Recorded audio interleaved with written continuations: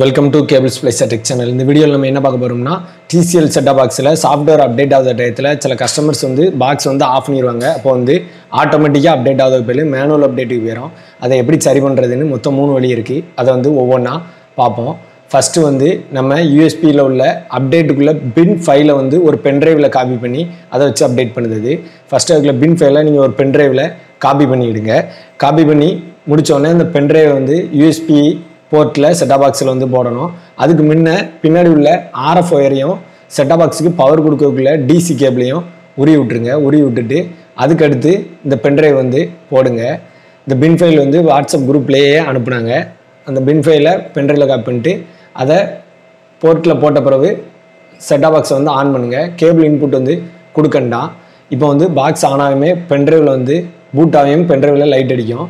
இப்போ வந்து செட்டா பாக்ஸு பூட் ஆக ஆரம்பிச்சிருச்சு. ஃபஸ்ட்டு வந்து கேபிள் ஒயரில் அப்டேட் இருக்கான்னு செக் பண்ணோம். கேபிள் ஒயர் மாட்டாதனால சிக்னல் வரல அப்படின்னு காட்டுது. ரெண்டாவது வந்து செக் பண்ணது வந்து யூஎஸ்பி போர்ட்டை தான் செக் பண்ணோம்.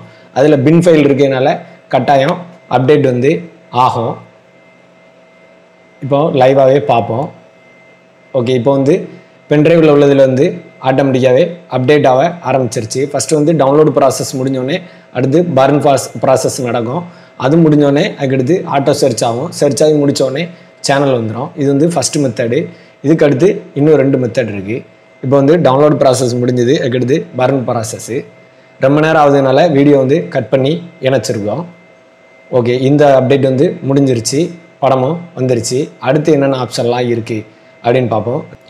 அடுத்த ஆப்ஷன் என்னென்னா மெனுவில் போய் ஆப்ஷன் அப்படிங்கிற மூணாவது இருக்கும். யூஎஸ்பி அப்டேட்டு நம்ம அந்த பென்ட்ரைவில் அப்டேட்டுக்குள்ளே பின் ஃபைல் இருந்ததுன்னா இதில் காட்டும். ஓகே கொடுத்து கன்ஃபார்ம் பண்ணியாச்சுன்னா அப்டேட் ஆகும். நம்ம ஏற்கனவே அப்டேட் பண்ணியிருக்கனால நம்ம வந்து ரெண்டாவது அப்டேட் பண்ண முடியாது. அதனால் அடுத்த ஆப்ஷனை பார்ப்போம்.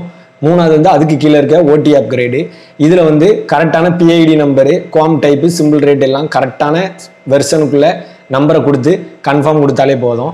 ஆட்டோமேட்டிக்காகவே மேனுவலாக நம்ம என்ட்ரி பண்ணி கூட கன்ஃபார்ம் கொடுத்துக்கலாம் இந்த மாதிரி கன்ஃபார்ம் கொடுத்தாலும் அப்டேட் ஆயிரும். இந்த மூணு ஆப்ஷன்லாலுமே உங்களால் அப்டேட் பண்ண முடியலாம் கட்டாயம் செட்டா பாக்ஸ் வந்து உங்கள் ஃப்ரான்சிஸியில் கொடுத்து சர்வீஸ் சென்டருக்கு அனுப்பி தான் சரி பண்ண வேண்டியிருக்கும். மேலும் இது போன்ற டெக்னிக்கல் தகவல்களுக்கு நமது கேபிள்ஸ் பிளேஸ் டெக் சேனலை சப்ஸ்கிரைப் பண்ணி சப்போர்ட் பண்ணுங்கள் தேங்க்யூ